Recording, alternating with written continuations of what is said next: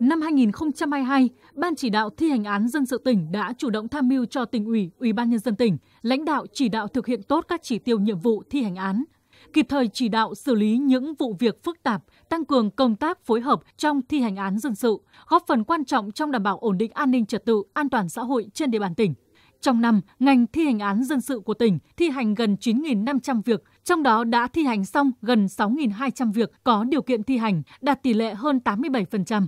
Tại hội nghị, các thành viên ban chỉ đạo đã cho ý kiến về hướng giải quyết một số vụ việc kéo dài, phức tạp trên địa bàn tỉnh.